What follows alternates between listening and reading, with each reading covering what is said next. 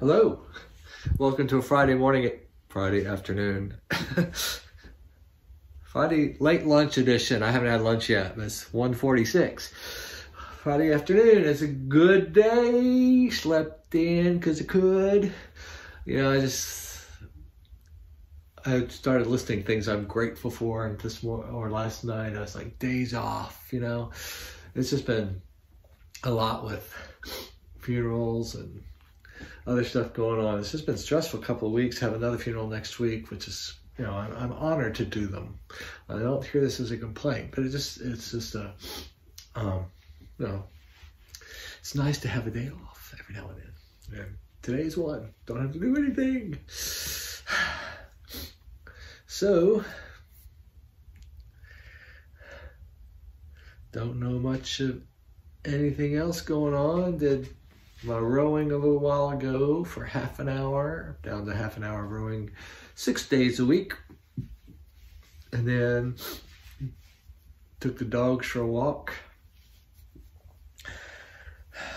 Went a little bit longer, about a mile and a half today. Good walk. It's cold. I was, I was 29 degrees. I, I think I wore too many clothes. I didn't want to be cold. I wasn't. I was a little hot on the way back. Of course, it's sunny today. Yesterday, I would have been perfect for yesterday when it was a little bit colder and windy and cloudy. But today was really nice with it being um, sunny. It's a beautiful day today. Um, I really do like winter. I know people think I'm crazy, but I really do like winter when it's like that. I, of course, I didn't like winter the one week we had winter last year when it was below zero and everything shut down and um, half the world had no power and that's no fun. But I do like having cold weather and um, as they say in Norway, there's not it's not whether not cold weathers, or there's not bad weather, there's bad clothes. you just have to be able to dress for it. Today I overdressed for it, but I was, it wasn't too bad. And the dog seemed to like it. Lucy is doing great. It's just, it's just odd how good she does and then how she does nothing. You'll go to walk and she'll, she'll just trot along and then the rest of the time she's just sleeping. Here is our reading for Friday of week 32. I'm hoping Stanley will just stay down here on the floor. So, a new man out of both parties. A very informative verse now comes. That he might create in himself one man and two, so making peace. Wait, let me start that over. A very important verse now comes. That he might create in himself one man in place of two so making peace. That's Ephesians 2 15. This verse arose out of the scriptures during World War II and became my guiding star during, during the war and has been since. How do we find peace? Paul lifts up out of reality a universal method of finding peace. Get each party to change and come to a third position, a new man out of both parties.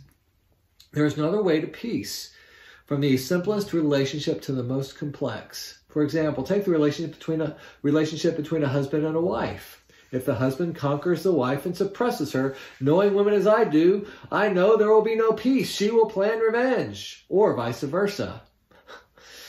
You're about to get really sexist here, Stanley.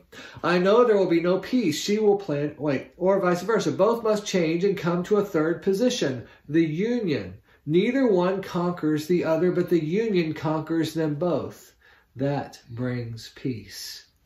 If the white race attempts to conquer the, the black race, as in being attempted in South Africa and in some parts of the United States, there will be no peace. There will be nothing but planned revenge and insecurity.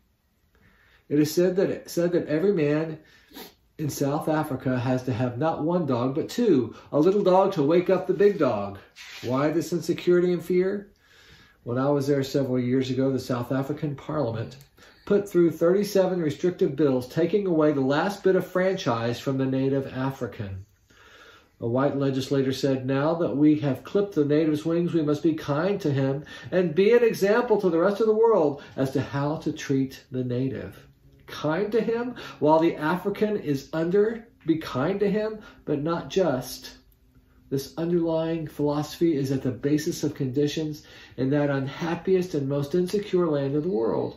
If the white man would change and be willing to make a new man out of both parties, peace would automatically come. Now there is only hate and insecurity and war.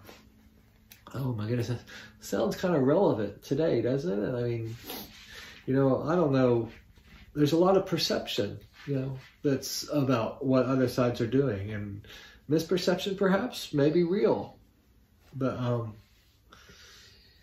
until we start talking to people who disagree with us and start compromising, nothing's going to change. It's just going to be this way forever, and it's not a good way to be. Here's our prayer. Oh Lord Jesus, you are creating in yourself the new person, the new person who will rule in righteousness and justice and hence in peace. Help me to be that new person in every situation this day, laying hands of peace on everything. Amen. And our affirmation for the day gave us the ministry of reconciliation. May I exercise the ministry of reconciliation in every situation today. Jesus is Lord.